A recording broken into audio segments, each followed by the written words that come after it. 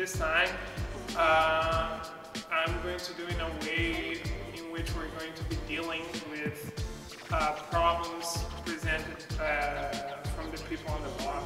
Okay? So basically with the lockdown, with underhooks in positions like this, then we're going to go we're going to move forward with uh, have an issue that all those positions. All right, so let's start everyone. Nice to see you again. Sideways. Up down.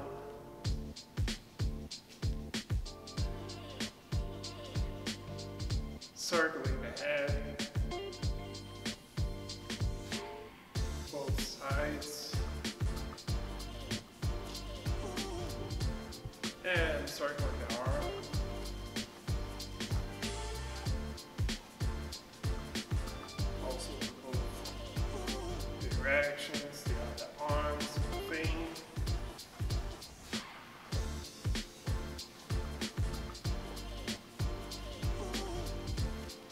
Hips.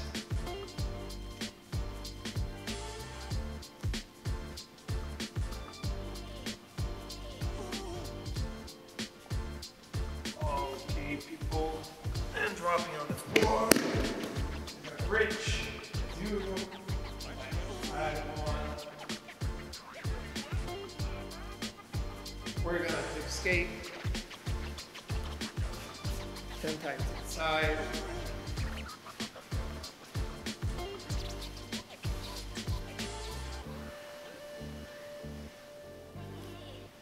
Gonna go into turtle position and we're gonna back step. Also ten times side.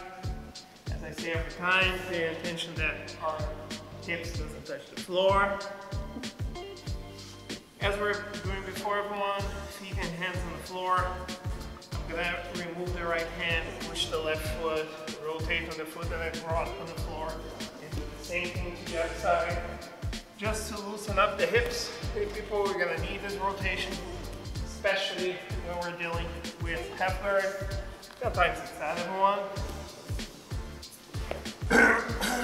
and as usual, rolling over the shoulder, landing on the knees, watch your heads, rolling forward again, same thing to the other side, you can drop on your hips, and go forward again, five times each side, back and forth, then we're gonna go to the partner drills.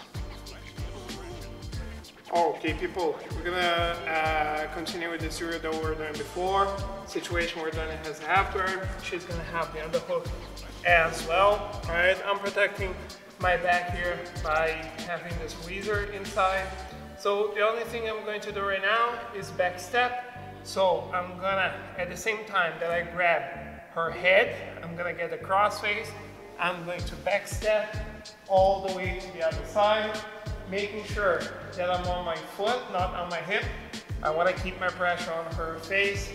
I'm to be controlling the knee, the, her knee. I'm to free my knee, and I'm to step back up, and I'm to be in this mounting position. For the sake of the exercise, I'm to let Dania push my knee, place her half guard back, and we're doing the same. Start with the tweezer, I grab the head, back step, I control her knee, I bring my knee on the floor in front of the hip. I keep pushing her knee down so I can step over, getting back to the mount position. And we're going to be just switching positions like this. She puts me back in the half guard, gets on the hook. Here, I back step, bring my knee, come back up. We're going to be doing this two minutes on one side.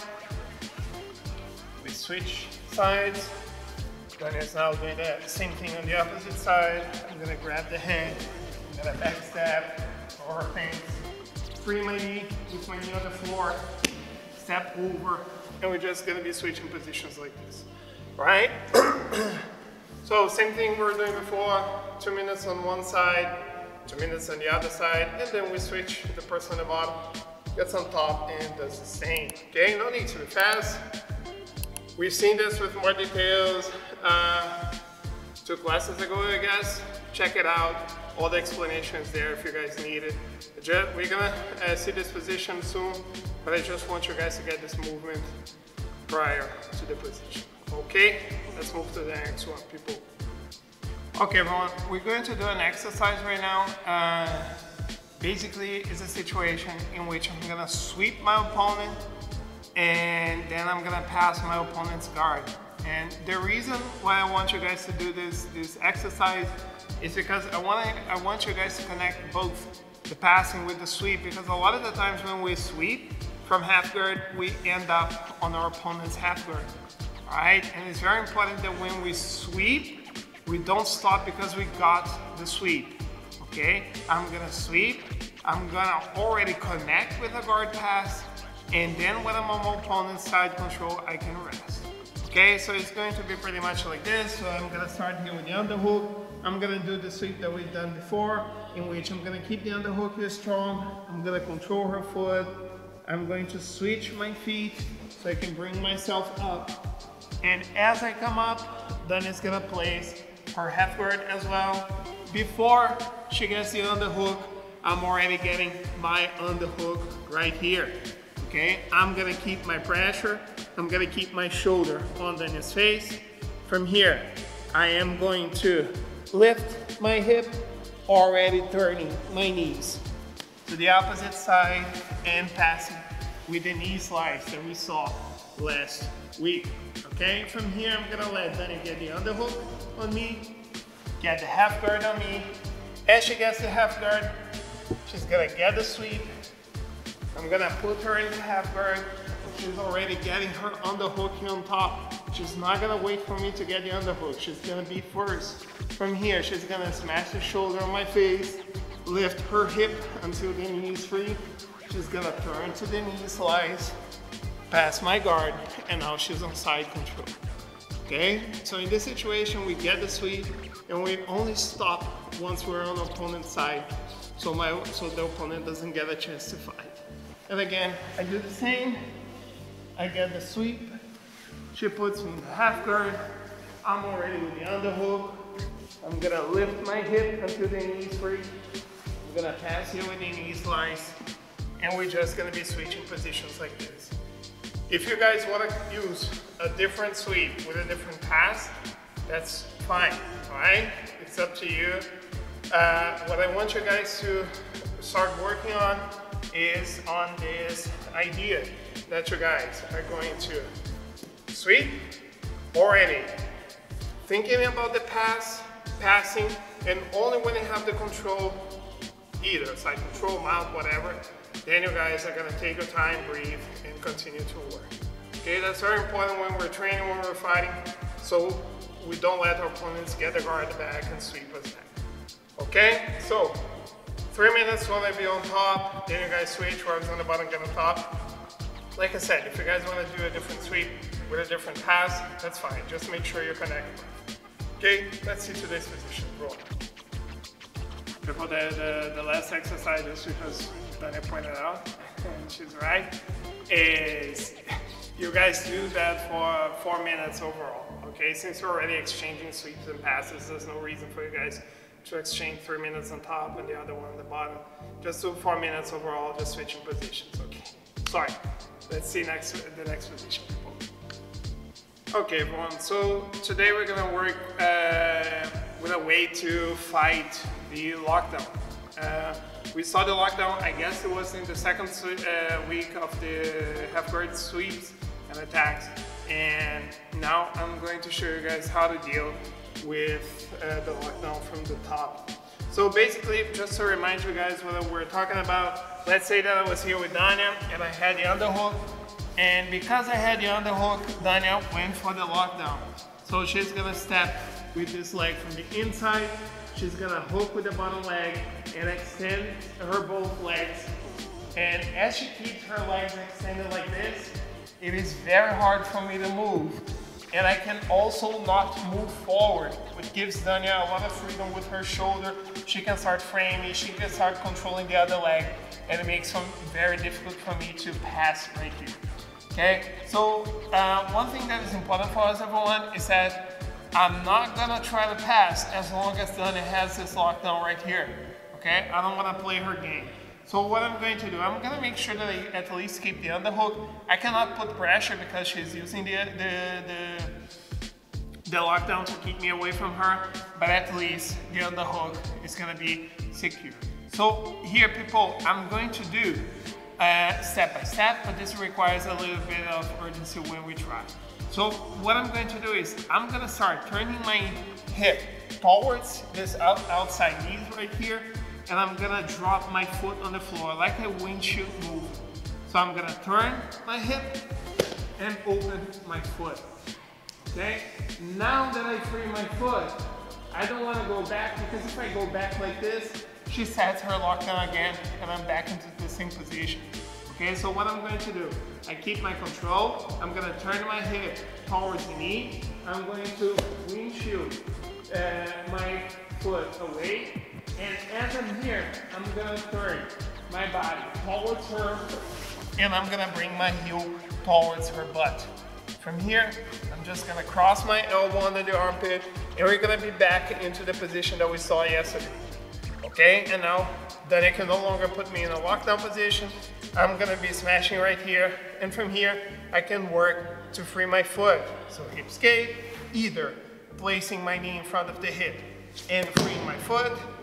If she's keeping my foot trapped, just like we saw yesterday, I get the underhook, I switch to a knee slice, and I pass.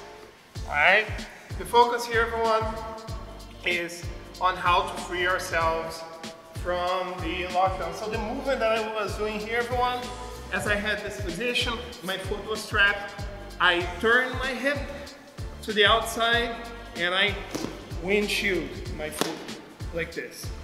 As soon as this happens, I turn my hip and I bring my heel towards my opponent's hip so my foot doesn't get trapped once more.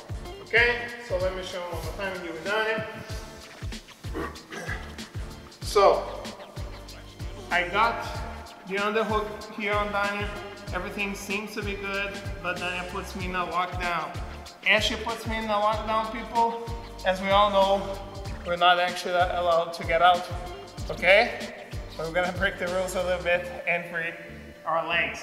So I cannot put pressure on Dani because I cannot get close to her, but I'm not gonna let her get the underhook. I need it, okay? So I twist my hip, open my foot. As soon as this happens, I'm gonna turn my hip all the way to the other side. And I'm gonna bring my heel towards her butt right here. Okay, because as long as I do that, she doesn't have access to my foot anymore. Okay, so I was keeping this underhook right here. I'm just gonna switch for the other one so I can be crossed over her body and I can use this hand to push the leg, okay? One thing that I wanna add to the positions that we've seen so far from here, everyone, is that a lot of the times, uh, I don't have to do much. As I have this position here, I'm gonna see a lot of the times my opponent trying to bridge to, to try to get a sweep. If, you, if you're in this spot and your opponent tries to bridge, then the foot is free. You can just pull it out and you guys are already gonna be either on the side control or on the mount. Okay, sometimes you guys can use this attempt to get the sweep to escape. Okay, so basically the pass is gonna be the same of the previous days that we worked, just adding this, uh, this step before in which we try to break the, the, the, the lockdown so then we get to pass our opponent's guard. Okay, very important for us to keep this in mind, people. If my opponent is controlling me somehow, like Daniel was controlling me with the lockdown, I have to break her control so then I can pass her guard. Otherwise, I'm gonna have a really hard time. Okay? So, let's train everyone. Okay, everyone, so from here, we're gonna basically uh, keep the exercise that we've been doing situation which Dani is gonna have the half guard. I'm gonna be on top. I want to pass. She wants to sweep or submit me. I want to pass or submit her as well. If either of us reach reaches our goal, back from the beginning. Okay, three minutes, one of you on top, Remains the other one on the bottom. And we're just gonna be playing here. I don't wanna let Daniel get the underhook. You can play as much as you want, Daniel. Okay, Daniel was smart and she gets to have the knee shield. And I'm just gonna start fighting her here. Starting back. I'm already setting my pass. Doesn't matter how you sweep, doesn't matter how you pass, just make sure you work from that position. Okay, then you guys add some extra rolls, as many as you want. Be careful everyone, have fun, stay healthy, and see you guys tomorrow.